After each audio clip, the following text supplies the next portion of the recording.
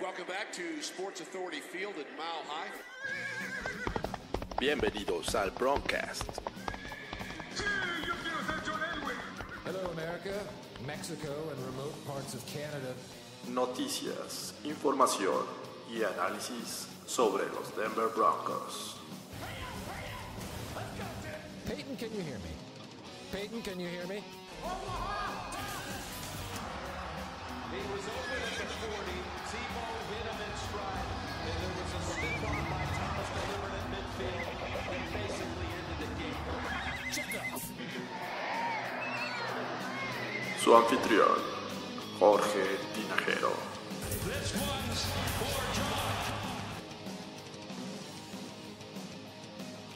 Hola, ¿qué tal amigos del Broncas? Este es un Broncas diferente porque la verdad es que estamos muy felices eh, eh, y como es ya una costumbre me acompaña aquí Fernando Pacheco. ¿Cómo estás, George? Muy bien, muy contento, muy feliz y sorprendido.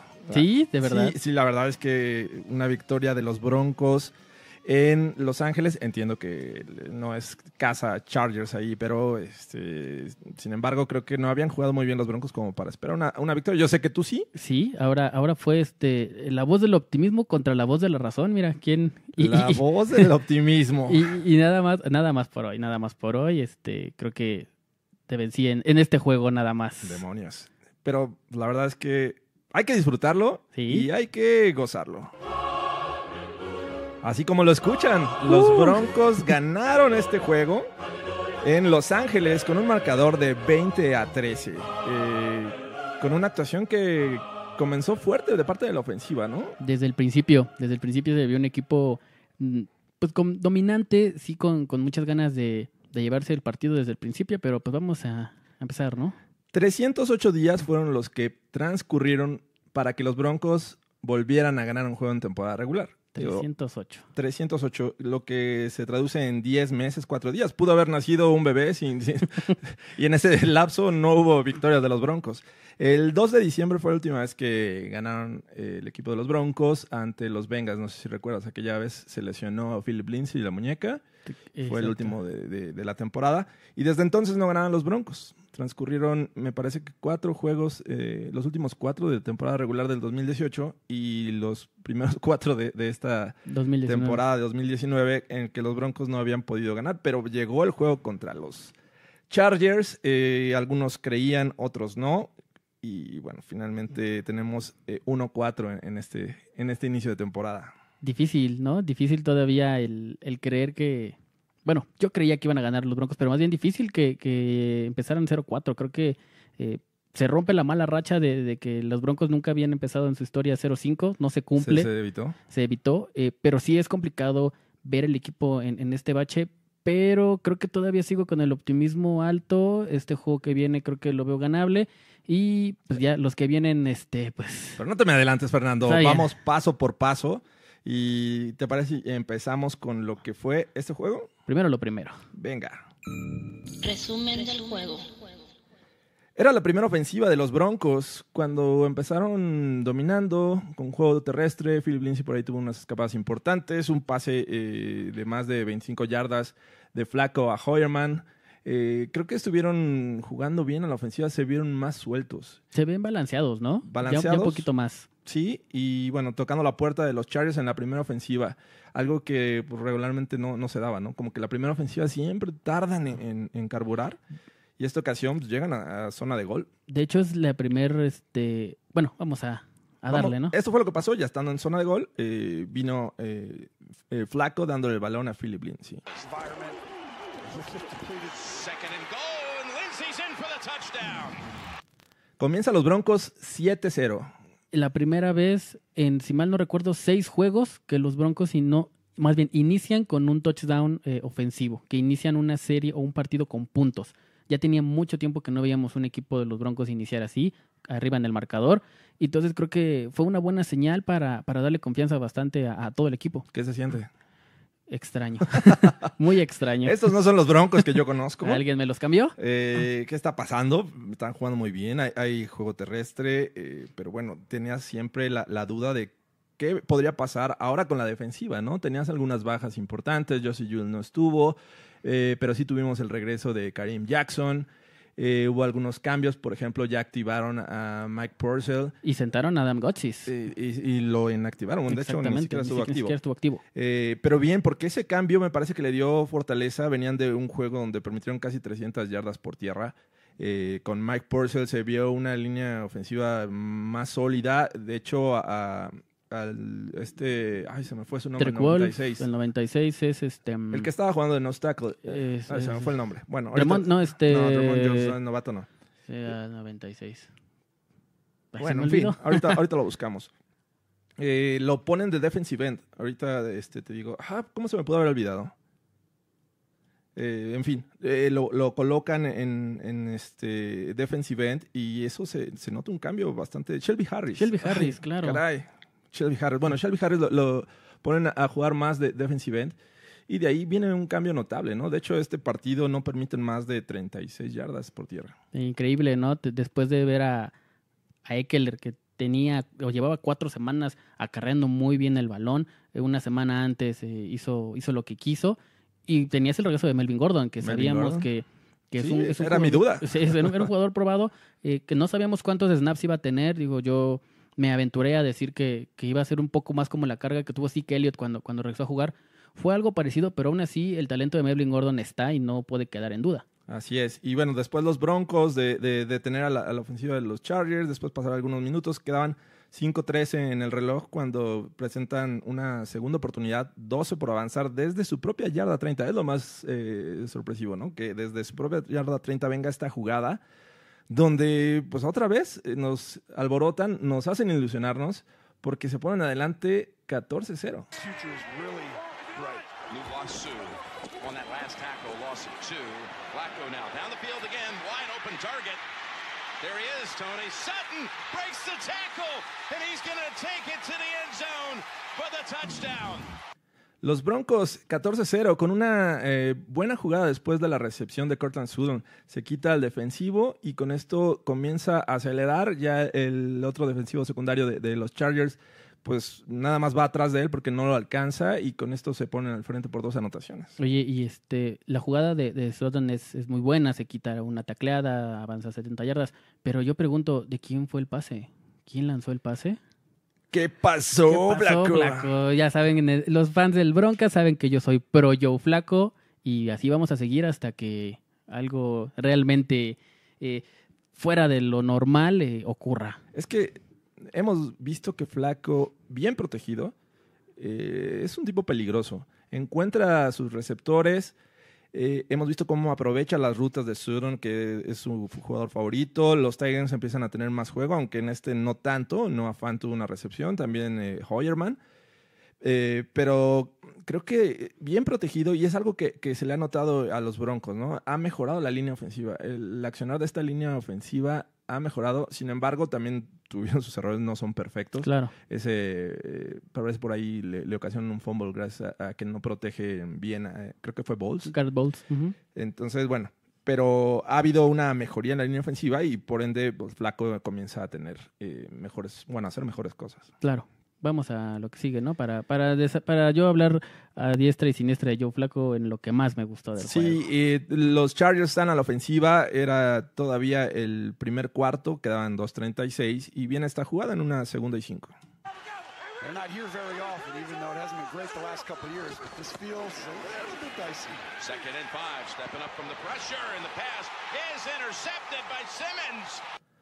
Viene esta intercepción de, de Simmons en una jugada donde Von Miller eh, presiona, siente, siente la presencia de Miller eh, Rivers, se hace hacia adelante, lanza un pase buscando a Mike Williams que lo lanza bastante alto y bueno, Simmons aprovecha el error. Primera intercepción de los, de los Broncos en la temporada. Llegó hasta el juego número 5.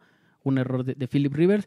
eh, y por ahí ya se estaba perdiendo el balón, ¿no? Terminando la jugada, eh, Justin Simmons va corriendo eh, sin la conciencia de que tiene que proteger el balón. Eh, por atrás llega, si mal no recuerdo, que Mike Williams. Le, le bota el balón. Afortunadamente lo, lo recuperan los Broncos.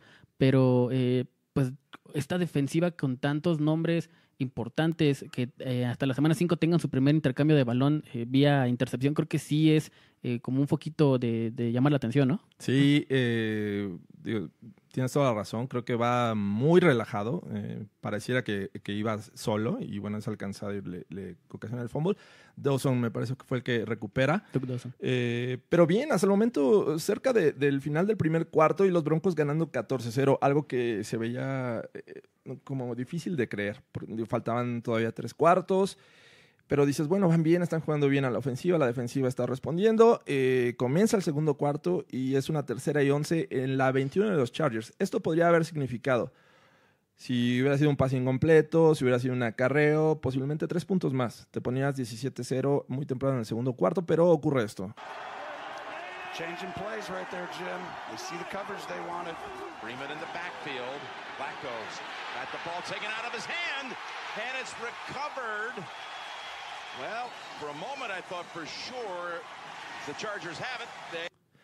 Los Chargers eh, recuperan el balón en, un, este, en una jugada buena de la defensiva donde le, le sacan el, el, eh, le dan el manotazo justo en el momento que iba a lanzar. Eh, y bueno, de ahí lo- los Broncos pierden esta oportunidad de, de hacer más grande el marcador. Sí, eh, Joe Flaco no se da cuenta que, que viene la presión por el lado ciego, del lado de, de Garrett Bowles. Eh, viene el strip sack de, de la defensa de los, de los Chargers. Recuperan la bola. Y como dices, era, era momento eh, para irte arriba, tanto anímicamente como con más puntos en el marcador. Eran eh, puntos probablemente muy seguros. Pero bueno, viene por, por, por mala fortuna este, fumble que me llama la atención el hecho de que Garrett Bowles no sujeta, o sea, no lo, no, lo no agarra al ala defensiva. Creo que se ha visto mucha mejora e, en, en ese sentido. Tanto así que él lo que quiere es terminar de aventarlo hacia afuera. Sí. No puede porque ya le gana el Alejarlo de- espacio. de Flacco. Exactamente. Y viene, viene la captura, ¿no? Sin embargo, esos puntos no, no los traducen, eh, bueno, más bien ese balón suelto no los traducen en puntos los Chargers. La defensiva sigue en un buen nivel, sorprendiendo porque, digo, hubo cambios, hubo ausencias y la defensiva me parece que eh, se vio como lo que al menos esperábamos al inicio Sí. con Big Fangio, ¿no? Una muy buena actuación. Eh, los Chargers empiezan a tomar ritmo al final del segundo cuarto, llegan a, a zona de gol, están dentro de la yarda 5, cuando ocurren yo creo que dos jugadas muy importantes. La, la primera es una gran tacleada de parte de Alexander Alexander, Johnson, Johnson. que eh, ocasiona que se queden justo en la yarda 1 y vamos a esa jugada.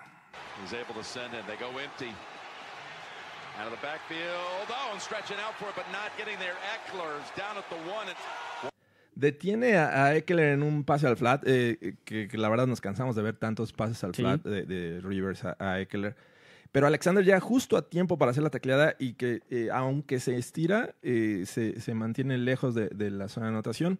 Después viene una cuarta oportunidad, cuarta y gol. Los Chargers ya con siete segundos en el reloj deciden, en lugar de ir por tres, eh, jugar, eh, ir por la anotación. Pero ahí es donde digo, qué bueno que jugó Karim Jackson Sí. porque le hacen una jugada hacia afuera. eh, me parece que Yadom hace una, una persecución donde hace que, que ese Eckler, el que lleva el balón, se abra un poco más. Y cuando intenta ir hacia el frente, llega justo Karim Jackson para este, evitar la, la jugada. Y aparte de ocasionarle balón suelto, en- entra a las diagonales y se marca touchback. Rivers. Toss. Eckler. On the ball comes out right at the pylon. They say touchback. Qué gran jugada de, de Karim Jackson. Todo el tiempo mantuvo la línea, mantuvo la vista en, en el corredor, porque eh, hay que recordarle a, a los escuchas que es una jugada donde en, la- en el backfield hay dos corredores y Philip Rivers hace eh, el movimiento de un shovel pass, de un pase pala, el balón lo hacia adelante y se cruzan los dos, eh, los dos corredores. Eh, Eckler tiene el balón, viene del lado derecho del lado izquierdo. Entonces, eh, excelente la, lectura de Karim Jackson, que no se va con, con- con el engaño, persigue. eh, bueno, yo sí creo que la persecución de, de, de Yadom no fue la adecuada, porque él tiene el ángulo, el muy buen ángulo para taclear atrás. Se cae, se tropieza, Pero se intenta aventar. Puso pero su granito de arena, su granito de arena porque hace que se abra un poco más eh, Eckler y le da tiempo para que Jackson llegue justo a hacer la y hace jugada. una gran tacleada. Y muy bien, la verdad es que se van al, al medio tiempo, 17-0. Eh, seguíamos viendo un, un gran cero en el marcador de los Chargers, algo que a mí me parecía difícil de creer. Eh, comienza el tercer cuarto, la ofensiva ya empieza a ir un poco a menos. Me parece que los Chargers ajustan mejor este, su defensiva. Y viene esta situación en la que los Broncos están encajonados, eh, una segunda nue- y nueve en la yarda 5. Eh, Flaco eh, quiere lanzar, pero su pase es desviado y ocurre esto. Then you tell us what you really think. Nope, I'm not. Second and nine. Tipped and intercepted. That's White that makes the pick. Le desvían el, pase, como ya lo dije, en la, en la línea de golpeo y eh, el linebacker de los Chargers se queda con el balón. Y no fue, y digo, a ver si no es por defenderlo, aunque me encanta hacerlo. eh, no es culpa de Joe Flaco. Ahí eh, un excelente trabajo del liniero defensivo. Y lo que criticaría ahí es que, eh, si mal no recuerdo, quien tiene ese hombre que batea el pase es el centro, es Conor McGovern. Al momento de que el liniero se hace para atrás, eh, McGovern se queda parado, deja de bloquear. Yo creo que eso es eh, por ahí por donde viene el pase, porque si tú tuvieras un liniero ofensivo este, enfrente, pues obviamente el momento que tú intentas brincar, pues el, el liniero te avienta hacia atrás, ¿no? Estoy de acuerdo que no es toda la culpa de Flaco, finalmente es una gran jugada defensiva. Sí. Y esto pone a los Chargers en situación para obtener nuevamente puntos. Ya dentro de la yarda 5, los Chargers se presentan una tercera y gol. Eh, obviamente decías, bueno, aquí ya, ya van a anotar, eh, se va a poner bueno el juego. Faltaban 2.17 en el tercer cuarto y viene esto. Rivers backpedals to the 12. End zone bound, and he's intercepted. He's picked off by Alexander Johnson. Alexander Johnson este, se lleva la intercepción en la zona eh, de anotación, que ya era la segunda en el juego de- por parte del equipo, y la segunda ocasión en la que los Broncos resistían dentro de su yarda 5 y se iban en cero. Sí, creo que eh, hace un buen trabajo Vic Fangio al hacer que, que- Alexander Johnson participe en, en la mayoría del juego. Lo tenía en activo desde la semana 1, le da la oportunidad.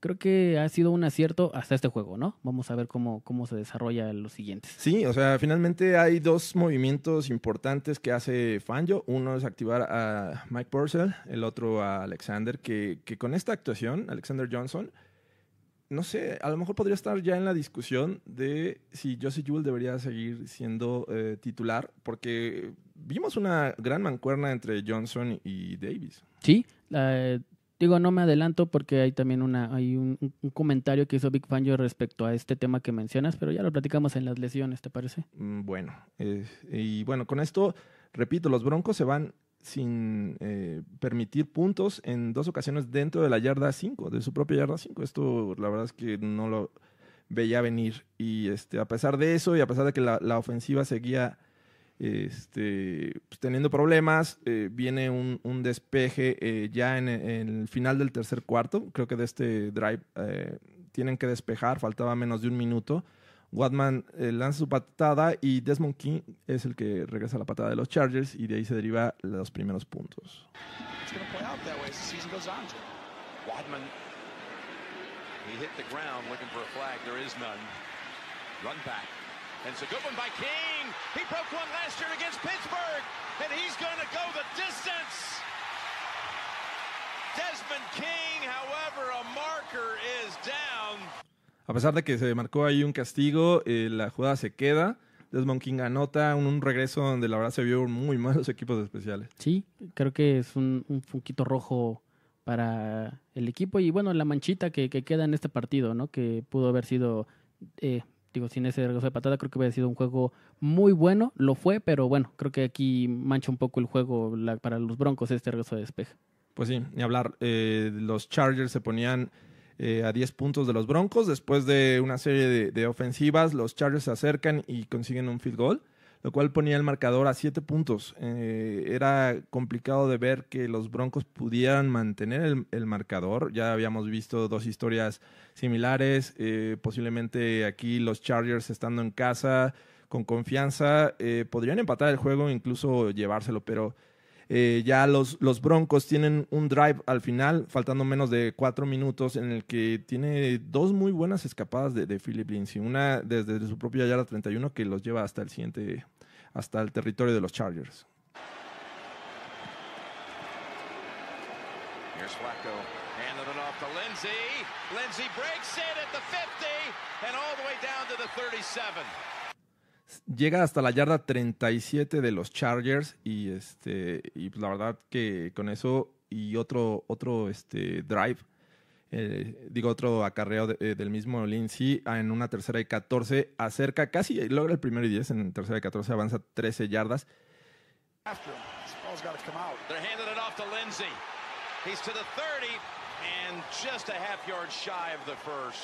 After him. This ball's got to come out. They're handing it off to Lindsay. He's to the 30 and just a half yard shy of the first. se queda una yarda del primer gol y deciden, digo, del primer y 10 y deciden irse por el field goal. Ya había este, fallado Brandon McManus un, un intento de, de field goal, pero era de 54 yardas, ¿no? Sí.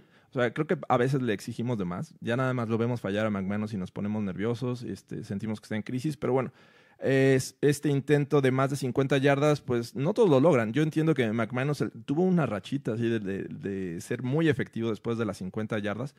Pero en esta ocasión anda, le falta todavía agarrar ritmo. eh, sin embargo, este eh, intento es de 46, si mal no recuerdo, y, este, y lo conecta sin problemas. Ya con esto se alejaban a, a 10 puntos. Los Chargers estaban presionados por anotar en, dos drives. Eh, al final de- del cuarto cuarto logran eh, el field goal, deciden ir por él y patear corto. Los Broncos recuperan y con esto llega la primer victoria del año. Pues gran victoria, ¿no?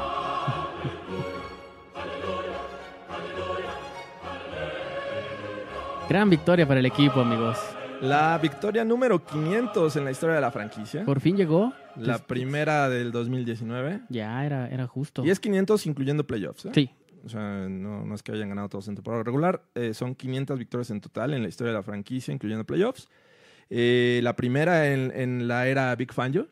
La primera como que coach. sean muchas más, porque pues, la verdad es que se necesitan. Es una franquicia que nos ha acostumbrado a las victorias, eh, a no tener temporadas perdedoras por, por muchos años y sobre todo consecutivas.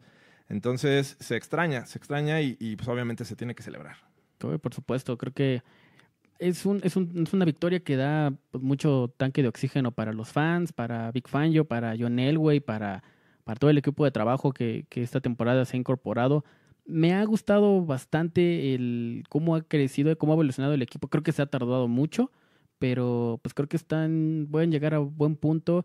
Eh, dicen por ahí que las victorias en septiembre no importan tanto, sino lo que hagas en noviembre diciembre, ¿no? Entonces vamos a ver cómo, cómo se mantiene el equipo durante este, este mes y lo que resta de, de la temporada. Sobre todo porque es un rival divisional. Digo, Exactamente. finalmente vemos muy lejana la posibilidad de los playoffs, entiendo eso. Sí, claro. Pero es rival divisional y siempre se, eh, saben a gloria estas victorias. Vamos a, a lo que sigue. Lo destacado. ¿Qué fue lo que más te gustó de este juego? Joe Flaco, bueno, no, pero, ¿Qué pasó, Flaco? pero sabe- saben que Joe Flaco, esto obviamente es de lo que más me ha gustado en toda la temporada.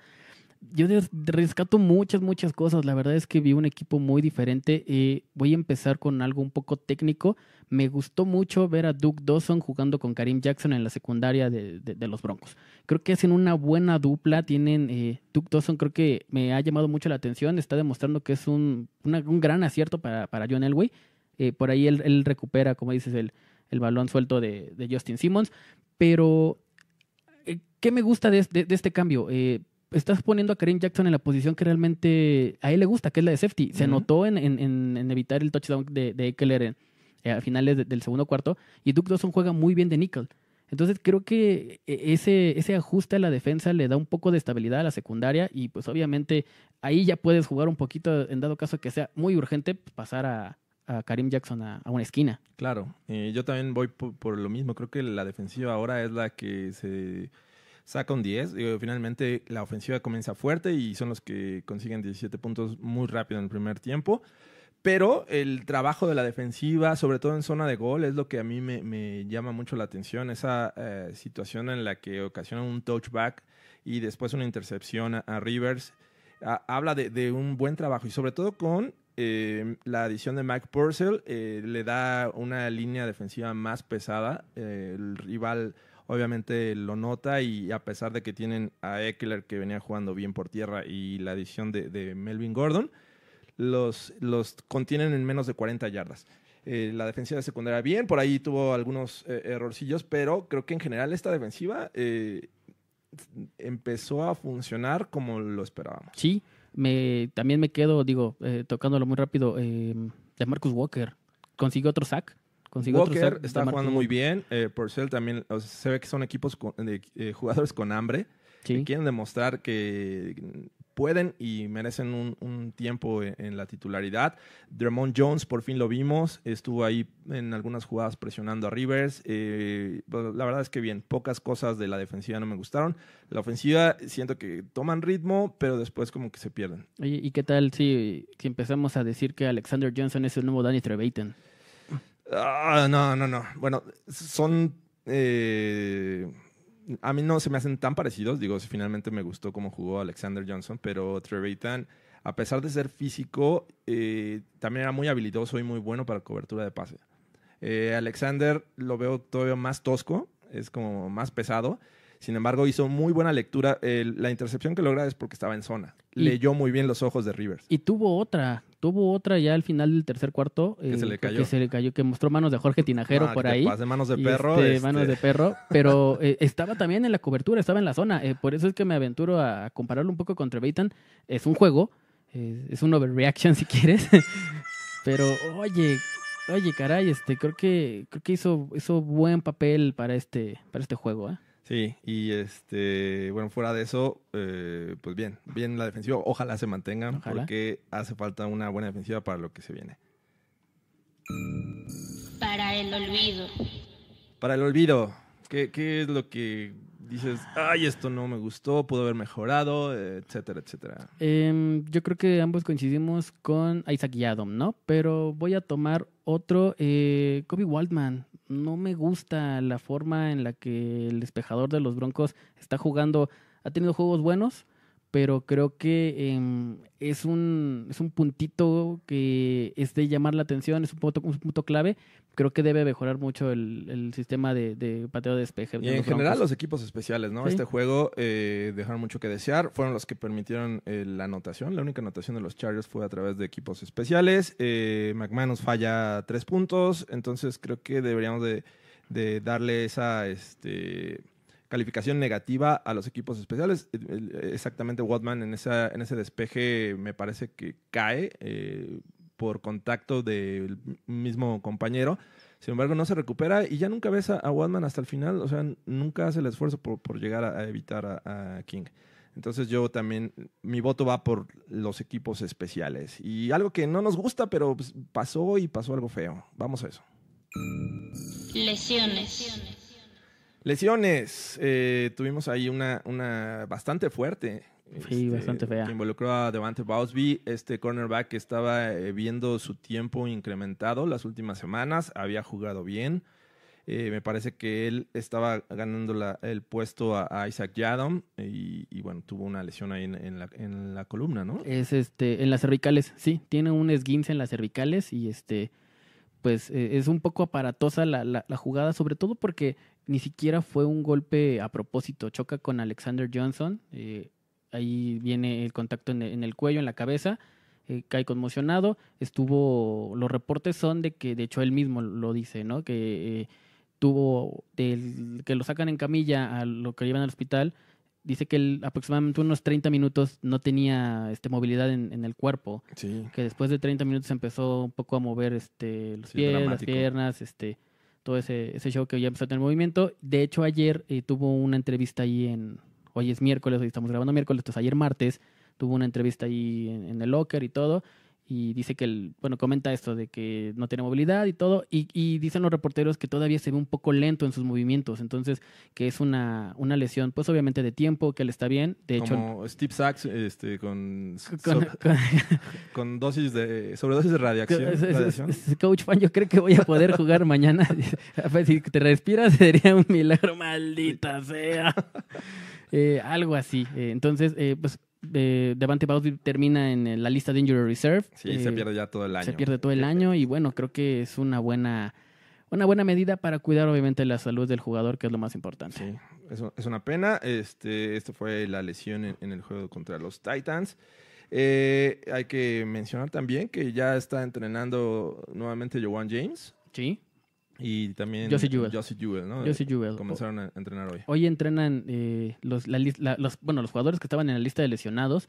Eh, Jawan James, eh, Josie Jewell. El único que no va a entrenar y va a seguir fuera es Bryce Callahan.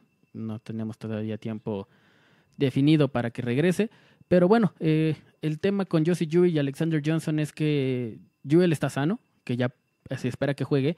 Pero hoy Big Fangio dijo que el titular hasta el momento es Alexander Johnson. Eh, que jugó muy bien, pero que no está Sí, satisfecho al menos de yo, todo. yo creo que se merece más tiempo, ¿no? O- Sí. O, más oportunidades. Sí, Lo hizo bien. Si está Jules sano, yo creo que deberían de estar. eh, estaría, estaría contento Big Fangio de tener tres posibles jugadores para la posición. y le hacen falta. Qué bueno. Y este, pues vamos a, a lo que sigue. Noticias. Las noticias, eh, obviamente tras la lesión de, de, de Bowsby, eh, este, los Broncos se ven en la necesidad de ir por otro cornerback en la agencia libre, ¿no? Cory Sensabo. Cory Sensabo. Viene de los Steelers. Recientemente, porque fue hace, eh, en 2012 lo seleccionaron en la cuarta ronda los Titans. Exactamente. Después creo que jugó en los Giants, en los Rams y los últimos dos años estuvo con los Steelers. Con los Steelers viene este, de la Universidad de Clemson, como bien mencionas, cuarto pick de- del 2012. Eh, pues bueno, es un jugador que viene recomendado por, por Mike Munchak. Lo tuvo por ahí en los Titans, lo tuvo por ahí en, en los Steelers.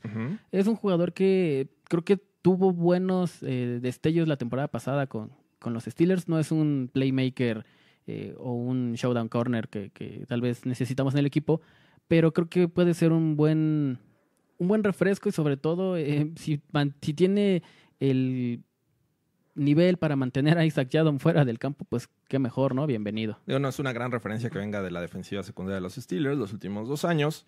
Eh, finalmente solo logró una intercepción, eh, este, tres pases defendidos en 2017, seis más en, en 2018 y ocasionó por ahí un, fumble, ¿no? Es eh, 45 tacleadas en total en su estancia con los Steelers. Ojalá y, y pueda aportar, porque lo que parecía en, en la temporada baja una de las mejores eh, defensivas secundarias en el papel, con la adición de Callahan, Karim Jackson, Chris Harris que ahí va a estar, eh, pues ahora ha estado sufriendo por, por tener continuidad en el personal. Sí, creo que ahí vamos a ver cómo, cómo funciona. Y ya que se estaba afianzando Bausby en, en el puesto, pues bueno, viene esta, esta lesión, ¿no? Sí, en otra de las noticias, eh, hoy se dio a conocer que en Denver se nombró o se le dio a este día el 9 de octubre como el día de Pat Bowlen. Oficialmente tenemos el día de Pat Bowlen. eh, se nombró el alcalde de, de la ciudad de Denver, eh, nombró el día de hoy oficialmente, como dices, eh, el día de Pat Bowlen. Por ahí hubo una ceremonia en el,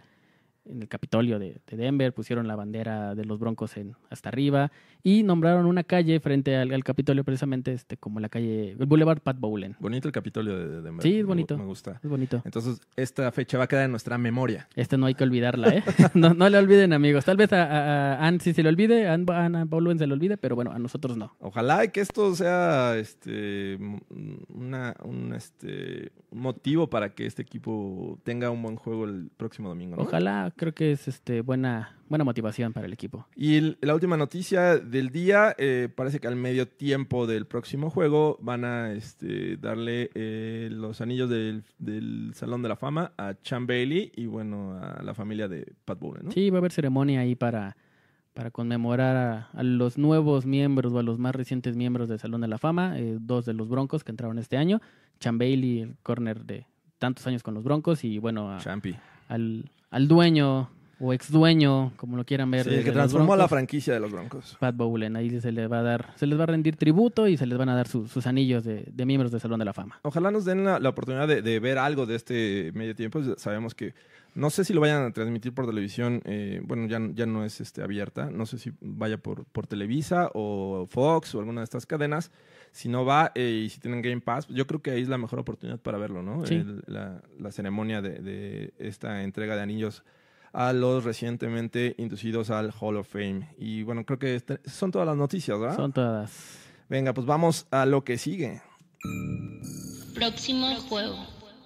Próximo juego, los Broncos el próximo domingo van a enfrentar a las 3.25 de la tarde, tiempo de centro de México, a los Titans. Los reciben estos Titans que llevan eh, un récord de dos ganados, tres perdidos. Eh, sus dos victorias han, eh, han sido obtenidas como visitantes. La primera semana le ganaron a los Browns en Cleveland y por ahí también le ganaron a los Falcons en Atlanta. Entonces, no es un juego fácil. Creo que es un equipo con un muy buen juego terrestre, cosa que vimos adolecer a los Broncos contra los Jaguars. Pero el, lo que la última experiencia, lo que hemos visto contra los Chargers, parece que hay una mejoría. Eh, va a ser un buen reto y vamos a ver si estos Broncos son de verdad. La última vez que se enfrentaron estos equipos, eh, los Broncos perdieron eh, contra los Titans en 2016, 13-10. La última vez que se enfrentaron en Denver, los Broncos eh, superaron 51-28 en 2013, esa temporada en que llegaron los Broncos al Super Bowl. Y en ese mismo juego, eh, Matt Prater eh, pateó el field goal de 64 yardas, el récord de la NFL. Me he empatado el récord del NFL. Mira, la verdad es que es un juego complicado. Los Titans creo que es un equipo incómodo porque tienen buen ataque terrestre. Eh, Marcus Mariota no comete errores, no ha cometido errores. Lleva, es el único coreback que no tiene intercepciones en, en la NFL. Entonces, por ahí puede ser eh, pues un, un punto, un punto a, a- favor de los, de los Titans. Eh, aparte, a mí me llama mucho la atención que los, que los Titans llevan, eh, pues tienen de hijos a los Broncos literal. eh, el- el- histórico. Digo, O sea, obviamente le, le está sumando la- la- el récord de los Houston de los, Oilers. los Houston Oilers pues, tienen 22 ganados, 15 perdidos en y un empatado en contra de los Broncos. Y los Titanes han ganado los últimos dos juegos. Dos de los últimos dos de los últimos tres juegos.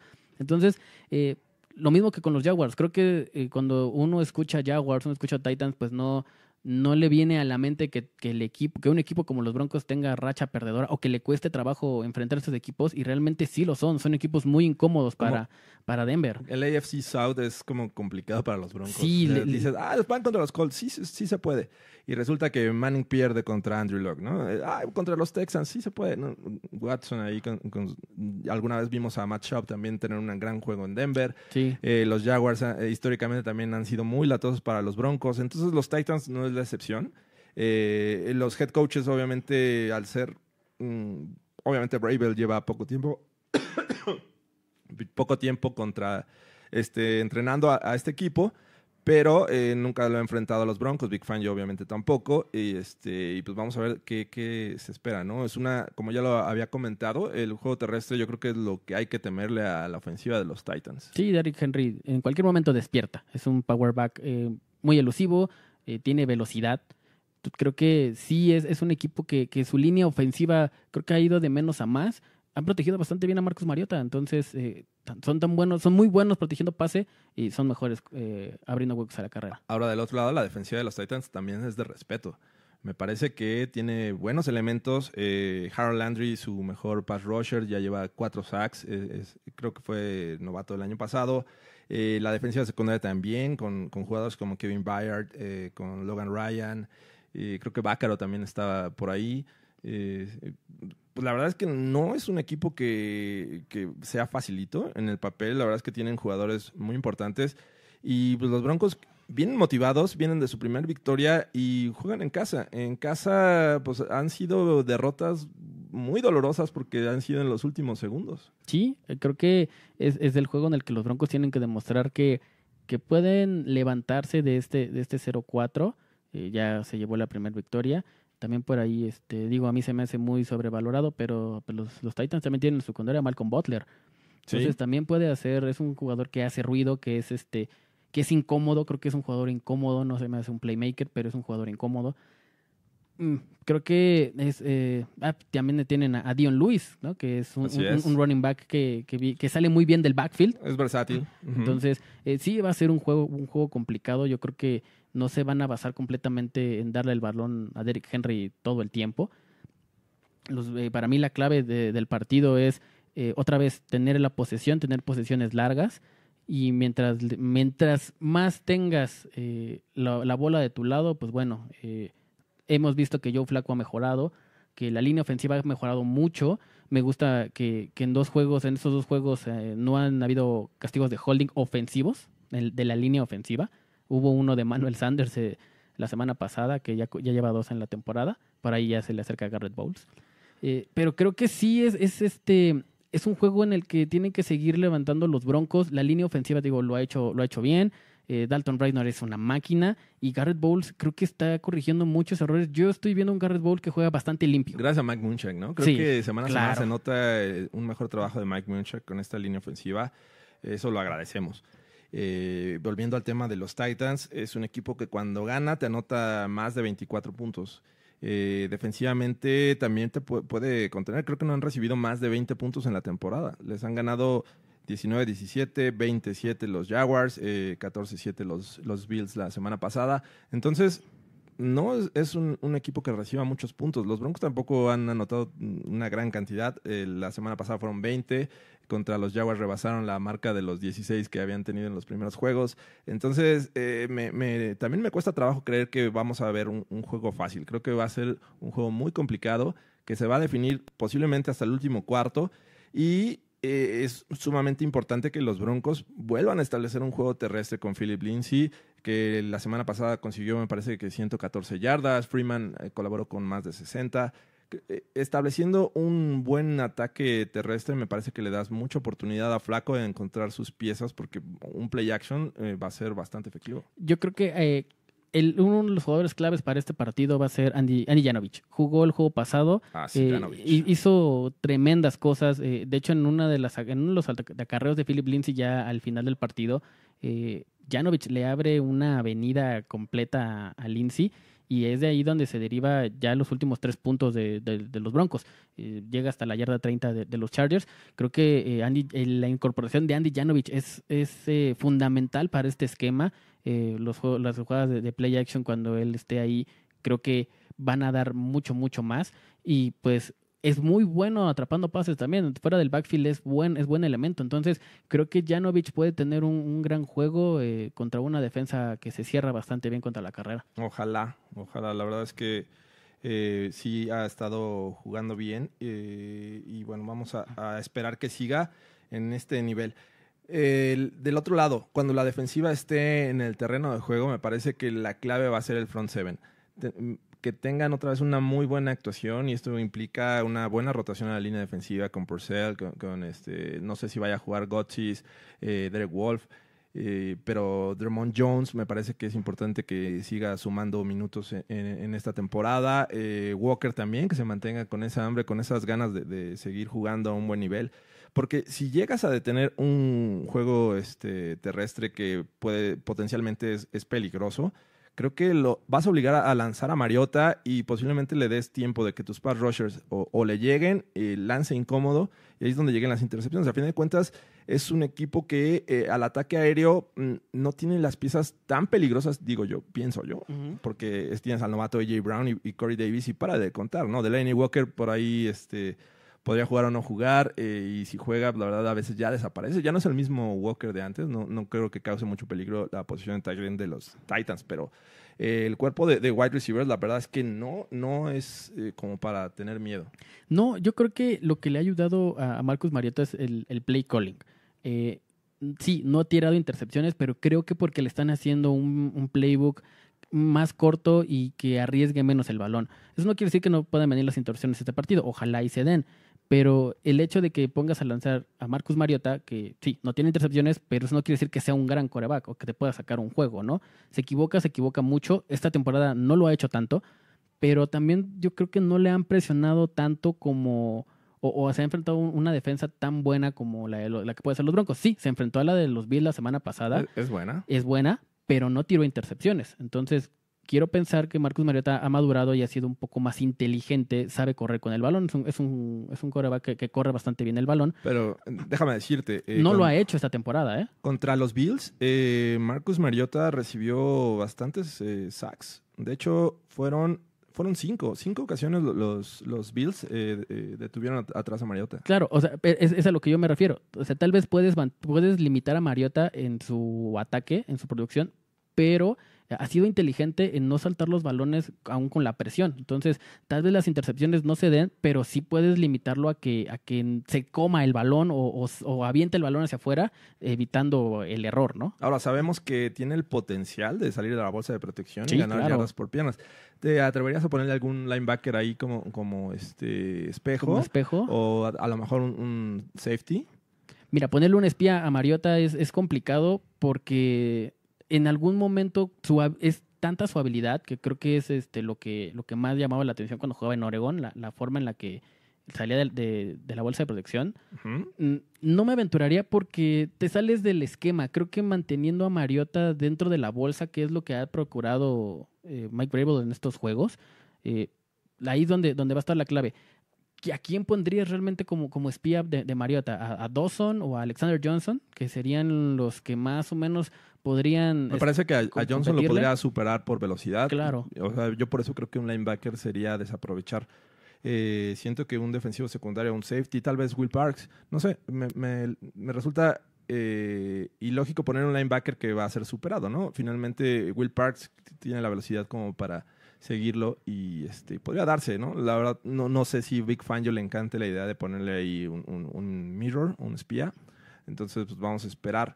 Eh, no, lo, no lo mencionamos, pero este juego com- eh, comenzaron los Broncos favoritos por 2 puntos- 2.5 en las apuestas. Eh, la verdad se me hace poco. O sea, prácticamente nada más le están dando la localía. la localía. O sea, ven un juego parejo eh, en Las Vegas, sienten que va a ser un juego cerrado, en el que los Broncos no van a hacer amplios, bueno, no van a ganar. Si ganan, no van a ganar por mucho. Es que no es un juego fácil, o sea, repito, tal vez el récord de los Titans no, no demuestra que, que el, el equipo que son, sí, que creo que en todos los podcasts de Primer y Diez y toda la gente ningunean a, a- a los Titans, eh, también me incluyo, pero ojalá mi padre no me escuche, no ya me estaría dando unas cachetadas ahorita, este, porque ninguneo a sus Titans, pero eh, es un, va a ser un juego complicado, entonces creo que eh, el, el juego va a estar, eh, sí, en la localía y qué tan agresivo le...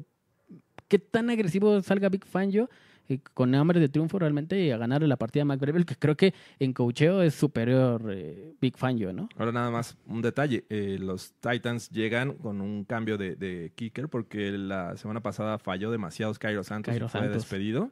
Y creo que Cody Parkey estaba ahí, este, parece que ya lo habían contratado, no, no sé si ya lo hicieron en este momento, pero pues vamos a ver, ¿no? Siempre Denver es como un paraíso para los kickers, pero ser el primer juego este, después de estar fuera, por ejemplo, Parkey, si es que va a jugar con ellos, entonces podría ser un, tema importante y decisivo para un juego cerrado.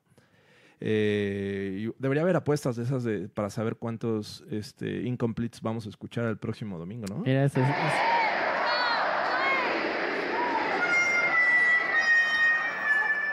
Ay, yo, yo creo que eso es lo que es lo que me encantaba gritar en el estadio, ¿eh? Que Sí. De tanto escucharlo en la tele y cuando estás ahí y lo gritas, lo gritas- Por fin. Por fin. Aparte, se- aparte yo se lo estaba gritando a Tom Brady, entonces lo tenía, se lo gritaba con mucho más odio. Sí, es, es bastante bonito eh, vivirlo en el estadio. Eh, es momento de decisiones, Fernando. Eh, ¿Crees que los Broncos van a ganar este próximo domingo? Digo, la semana pasada dijiste que sí. Y se dio. Así es que, venga, Fernando. Em, yo diría que sí. Yo diría que sí. Yo creo que, que los Broncos van a ganar. Ah, ese capítulo, cómo me encanta ese capítulo de South Park. Eh, sí, yo creo que, que Denver sale con la victoria. Va a estar muy cerrado, va a ser un juego complicado. Podría tornarse tal vez hasta un poco aburrido el juego, porque son juegos defensivos. A mucha gente no le gustan los juegos defensivos. A mí sí, pero puede ser que se torne por ahí un poco de, de- de aburrido. Pero creo que los Broncos pueden llevarse la victoria, ¿eh? Sí, un juego defensivo es sinónimo de buena estrategia, buena planeación y buen ajuste durante el juego. Es que si es defensivo, pues bien, bienvenido. Claro. Y ojalá, yo también espero que los Broncos ganen. Eh, también siento que va a ser un juego cerrado, pero sí van a ir ganando prácticamente todo, todo el encuentro desde por ahí del segundo cuarto. Entonces, la defensiva otra vez va a ser factor. Creo que estos Broncos nos van a dar dos victorias de forma consecutiva, algo que también que desde 2018 no teníamos. Entonces, este, pues ojalá, hay que cruzar los dedos y, y aprovechando, y antes de, de seguir, eh, recuerden que este próximo domingo, bueno, de hecho el pasado también se, se juntaron una, una buena banda ahí de, de fans de los Broncos en Plaza Centura, Ujú. allá en, en el norte de la ciudad, es Tlanepantla, digo, eh, tierra de donde vio nacer a Fernando Pacheco. Claro que sí. Eh, Tierra de este, caballeros. De caballeros y Fernando Pacheco. Entonces ahí va a estar, eh, se van a juntar la banda. Recuerden llegar, a, no sé, al menos 15 minutos antes. Eh, va a ser la reunión nuevamente en Buffalo Wild Wings de, de Plaza Centura. Eh, y recuerden, si van con jersey de los Broncos, les van a hacer un 15% de descuento, me parece. Al parecer sí, por ahí tienen descuento. Se pone bien el ambiente. Vayan, vayan. Se pone amigos. bien. eh, estamos pensando en que este sea un lugar de reunión para los Broncos y bueno, de ahí crecer porque sabemos que hay fans que viven a- al sur de la Ciudad de México, este, que les queda bastante lejos, fans que nos escuchan en otro lado de la República Mexicana y pues estén pendientes porque eh, me parece que de esta, de esta semana a la que sigue va a haber un tailgate en, eh, en Buffalo Wild Wings eh, de Culiacán. Culiacán. Culiacán. Entonces, estén pendientes, les vamos a dar más detalles en la siguiente edición del Broncast. Eh, pues vamos a lo que sigue, ¿no? Vamos. Liga de Fantasy Football. En la Liga de Fantasy Fútbol del Broncast, eh, otra vez volvemos a perder. Eh, los Banjos Fanjo eh, pierden, pierden por 12 puntos con GDL Broncos. Eh, en el siguiente juego, Airways Quarterbacks ganan con 134 a 100 a W Javi. Eh, los Sir Matthew Acereros ganan, ganan a Beto Team Football. Eh, ¿Qué tranza mi flaco pierde con Cerrajería Chad Kelly? Que está, pero in- increíble el, el paso de Cerrajería. Chad Kelly. Es el único invicto en este momento. Después tenemos a What a Wonderful World, que gana su encuentro contra Yo Quiero Ser John Elway. Y Show Me the Money pierde esta ocasión con Enchilame este flaco. Eh, las posiciones están así. Eh, Cerrajería Chad Kelly con 5 ganados, 0 derrotas. Elway's Coreback y GDL Broncos van en segundo y tercer lugar, van empatados con 4-1. Después viene W Javi, eh, What a Wonderful World y Yo Quiero Ser John Elway con un récord de 3-2. Que tranza mi flaco, está empatado también con Show Me the Money con 2-3. Y al final de la tabla eh, estamos nosotros, eh, Banjos Fanjo, Beto Team Football, Si Matthew Acereros y Enchilame este flaco. Así es que bueno, vamos a echarle ganas porque ya va casi la mitad de, de- de la temporada del Fantasy Football. Eh, vamos a ver si hay equipos que despiertan, si hay otros que tienen alguna caída o se mantienen. Esto, esto en el fantasy del Broncast. Y vamos ya por último a la, a la parte de las preguntas, ¿no? ¿Sí tuvimos esta semana? Sí tuvimos, sí a ver, venga. Preguntas de los fans. Venga, Fernando. Vamos a empezar, dice Emanuel Bernal. Em, es un comentario. Dice, ya que hoy se declara el día de Pat Bowlen, hay que celebrarlo olvidando las cosas, como yo, los pendientes de mi trabajo o la racha perdedora de mis broncos. creo que creo que sí es buen este es buen momento para olvidar las cosas, eh, eh, pero nada más un ratito. Hay que... Solo por un, por un momento. Por ¿no? un No- no- momento. No, conviene olvidar cosas del trabajo. Sí. Este, siguiente, Broncoman nos pregunta, ¿qué va a hacer con el otro cornerback? Parece que Bowdy está fuera todo el año y Adam no es la respuesta. ¿Y cómo van los, y cómo van los lesionados para traer de la Injury Reserve? Hay varios que podrían aportar, hay varios que podrían aportar al activar como, como Drew Lock, si es que se lesiona, es que no trae ese signo de. ¿Admiración? Hay que traducir. Ajá, exactamente. Eh, si quieres, vamos a, a partirla, ¿no? Este, a ver, ¿cómo, cómo va a ser el otro coreback? En cuestión Eh, de la de- defensiva secundaria, ¿no? Exactamente. Eh, pues me parece que poco a poco va a ir eh, teniendo tiempo. No, no esperaría que desde la semana uno tuviera mucho tiempo. Hay que irlo adaptando al sistema de Big Fangio, eh, por lo que parece ser que eh, va a tener más tiempo y es algo que no nos gusta, pero pues hay que aceptarlo. Yadon va a estar ahí, Dawson va a seguir jugando. Y esperaría en, en situaciones de 4 o 5 wide receivers que le empezaran, empezaran a dar más tiempo a Sensabo. Sí, yo también creo que sí tienen que adaptar. Eh, la- los lesionados de la Injury Reserve, bueno, pues ninguno puede regresar eh, hasta antes de la semana 8. Eh, Ujú. Drew Lock no está disponible para jugar hasta después de la semana 8, por regla.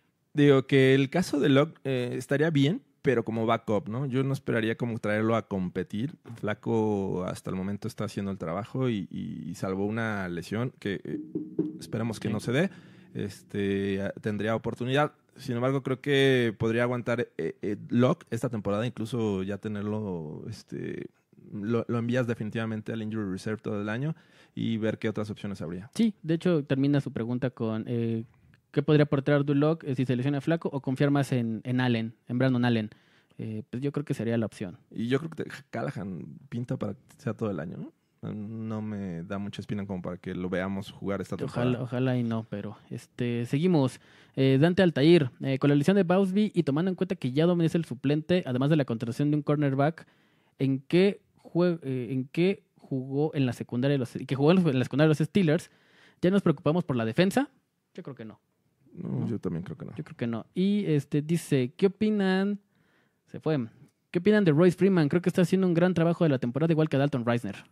Sí, eh, a pesar de que Philip Lindsay ya despertó, ya está teniendo este, mejores acarreos explosivos como los recordamos en 2018, Freeman me parece que está haciendo un excelente trabajo en cuanto a darle descanso a Lindsay y, e igual si- seguir siendo efectiva esta, este ataque terrestre. A mí me sorprende mucho que están usándolo mucho eh, fuera del backfield. De hecho, lo alinean en el slot y está haciendo un gran trabajo. Me sorprende mucho la- la- las manos que tiene, que tiene Sí, es Freeman. bueno, digo, sin duda eh, lo que buscaba él, güey, y ha buscado con cada running back que ha seleccionado en el draft, es que tenga buenas manos para este, eh, ir en el ataque aéreo. Eh, Devante Booker lo, lo era, tenía muy buenas manos para, para salir al pase, entonces creo que eh, Freeman no es la excepción y este, lo está haciendo bien, ¿eh? la verdad me, me gusta Freeman como segundo running back. Sí, a mí también. ¿Tú, George, tienes alguna? Eh, no, simplemente eh, creo que nada más eh, preguntaba que cuánto nos iba a durar el gusto eh, de la victoria. Pues, la verdad es que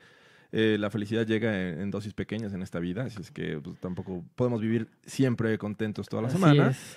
Eh, y Alfredo eh, por ahí me, me pregunta para cuándo el Bravecast. Ah, vamos a, a- primero a tener alguna este un sitio donde hablar de béisbol, pero pues, la verdad es que sería interesante Sí, como cómo no. experimento. ¿Cómo no? Y ojalá ganen hoy, ¿eh? Ojalá ya está el juego. Ahorita vamos a ver cómo, cómo van. Y fíjate que mm, para terminar este, este Broncas, me, me encanta, me encantó este comentario. Eh, Alfredo Ramírez nos dice, Broncas, yo no tengo duda, pero sí una petición.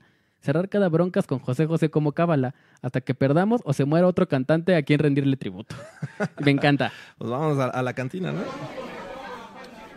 Vamos a la cantina porque eh, la semana pasada, si nos escucharon, saben que cerramos con José José y ganaron los Broncos. Sí, caray. Entonces, o sea, este- ¿crees que sea cábala? Eh, pues vamos a intentarlo, ¿no? Vamos a intentarlo. Pues, pues salucita, ¿no? Por, José amigos. José, que hoy llegó a, a México y este y creo que ya le están haciendo un homenaje ahí en Bellas Artes. No sé si lo vayan a llevar a, a su colonia este, Azcapotzalco. donde nació, eh, allá en Azcapotzalco. Entonces, eh, pues sí, vamos, vamos a, a creer, vamos a creer en las cábalas, vamos a acabar con una este, cancioncita de, de José José dedicada al día De Pat Bowlen. de Pat Bowlen. que anduve por ahí de bar en bar llorando podérmela olvidar. gastándome la piel en recordar Amnesia para, Amnesia para Pat Bowlen. para el día de Pat Bowlen. Venga. Ojalá y sea de la buena suerte. ¿eh? Ojalá, amigos, que se vuelva cábala.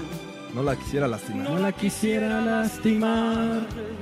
Tal vez lo que me cuentas Sea verdad. Lamento, Lamento contrariarla, pero yo no la recuerdo. No la recuerdo. Vámonos, gracias por escucharnos. Gracias amigos. Hasta la próxima.